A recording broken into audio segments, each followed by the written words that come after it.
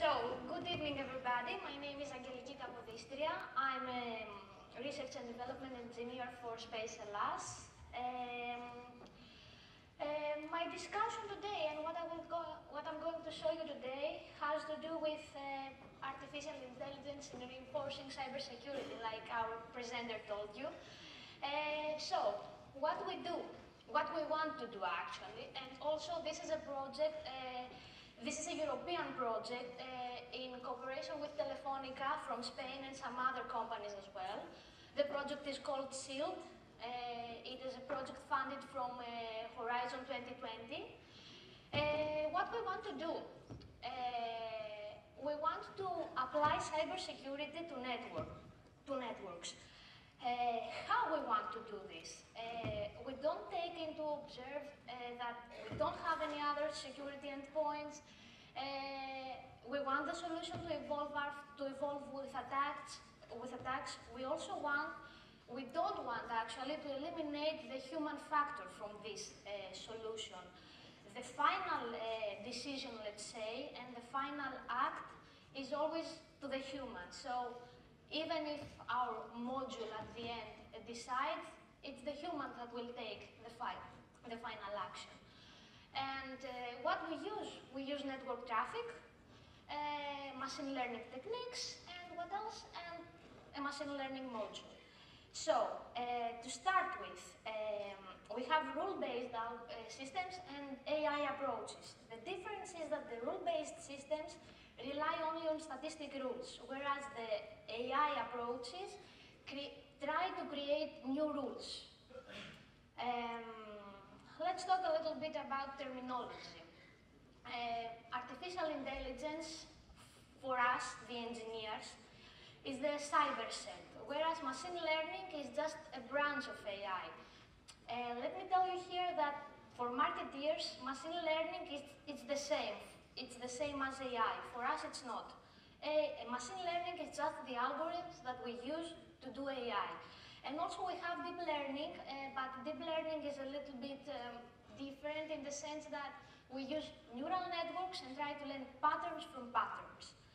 Uh, so, artificial intelligence uh, a very short definition, how to make systems, computer systems and machines in general, be, be able to use human intelligence. Um, it, it is consisted of three main parts, uh, learning, reasoning, and self-connection, and self-correction, I'm sorry, and it can be divided into categories, weak or strong. So, I'm not sure if you are, if you are able to see, uh, AI has applications, types of models, software, hardware, or hardware for training and programming languages for building these processes. Applications can be image or speech recognition, cybersecurity, uh, the types of models, deep learning, machine learning, neural networks, uh, the software or the hardware that we use is GPUs and stuff like that. And at the end, the programming languages are Python, of course, Java, C, and many new ones. Uh, cybersecurity, the ability to protect our systems from any kind of cyber attack. Uh, it is divided in these categories. Uh, I'm not going to explain every category, it's not necessary, but what I want to say is about the last one, the end user education, that as we know, all comes to people at the end. So it is very, it is necessary to have people trained and know how to react and act in, um, in any kind of cyber attack. Um, so this is important as well, and sometimes we keep forgetting that. We only focus on how uh, we only focus on how to create smart algorithms, and we forget to train our people to react on cyber attacks. So the learning process. Um, we start from the real world. We end up with having analysis results. In the between, we have the data acquisition, and we get the data mainly from sensors. Uh, we want to do some pre-processing on that data, uh, maybe some cleaning, some normalization. We want to do also dimensionality reduction because, to be honest, if we are discussing about network traffic, we are discussing about huge amounts of data. And at the end, we have the prediction and the model selection. So, um, although that there are, there are a lot of categories uh, for supervised, and unsupervised machine learning, and, and so on and so on, we're going to discuss about generative models and, for example, the, the, the situation here to test an application for vulnerabilities and mutation of file names. Uh, we want to simulate the actual data, not the decisions. And to do this, we use all these kinds of algorithms. Markov chains, uh, generative adversarial networks, and uh, latent Dirichlet allocation, LDA. So, uh, LDA. LDA is kind of a statistical, let's say, probabilistic algorithm, and is a kind of uh, bags of words. In the network traffic um, case, uh, documents are IP addresses, log entries are, are, the, are the words, and so on. Uh, what else? We have one class support vector machines.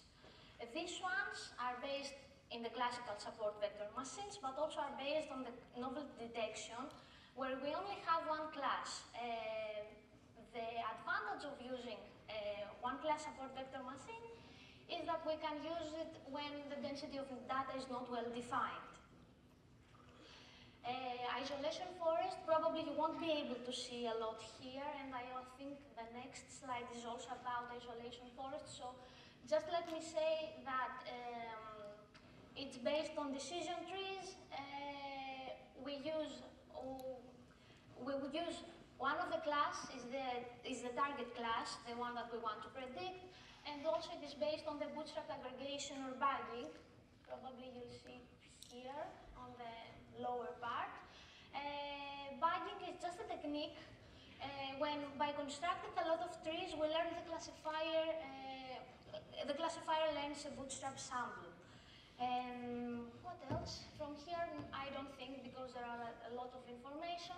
Next, we also use autoencoders, which is a type of a neural network.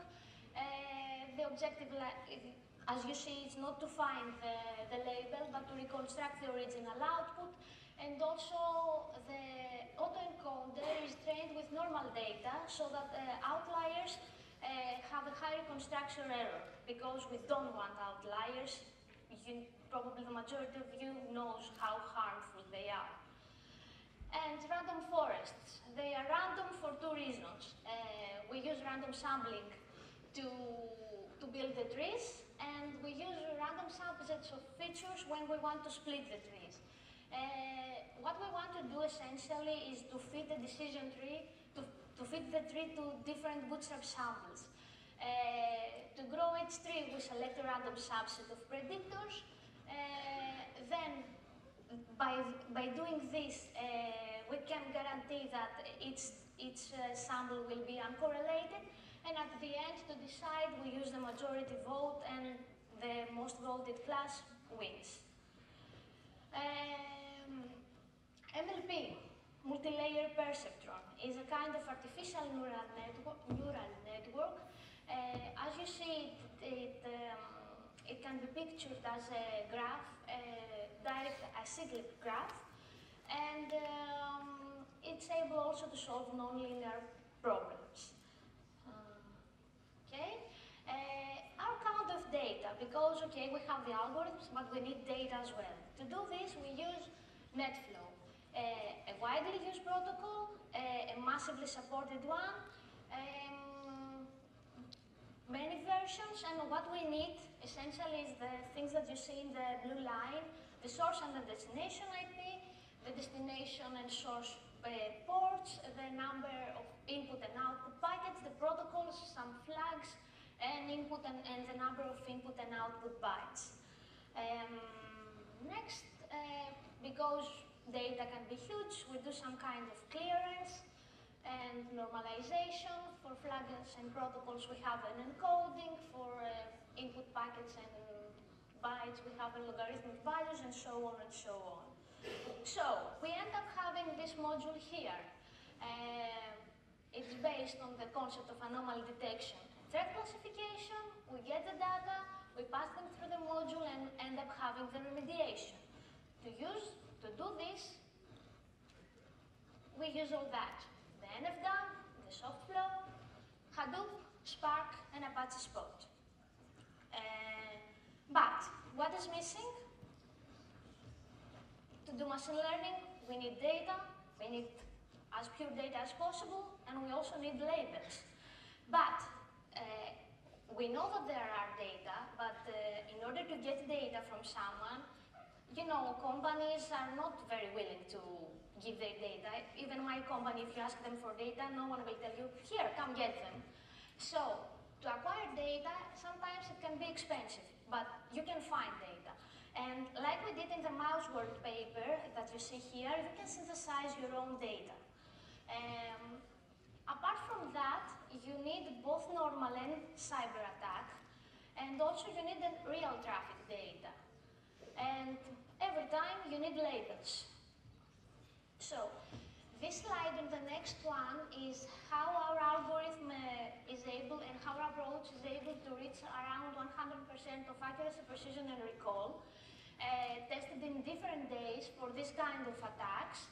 Uh, and both results, you can find them in the CSER paper. It is listed here. Probably, I don't know if you have the slides after the presentation, but you can find the paper if you check for the CSER conference. So, uh, after done, after have done all this, we end up uh, having a new global picture. Our new global picture is that in the machine learning subcomponent, uh, we need to add one step we need to retrain it periodically. And to retrain it, uh, we can, retraining it can be done in two ways. You either mix in the lab or in the pre-production step uh, the real traffic with um, some bad traffic, let's say, um, cyber attack traffic, or you can uh, bring the lab attack to the production environment. So, what we learned we always want good data, every time. Data that has both normal and bad traffic, data that is labeled. Um, we need to, to combine algorithms, techniques, and everything to improve the results. Uh, we need to adapt.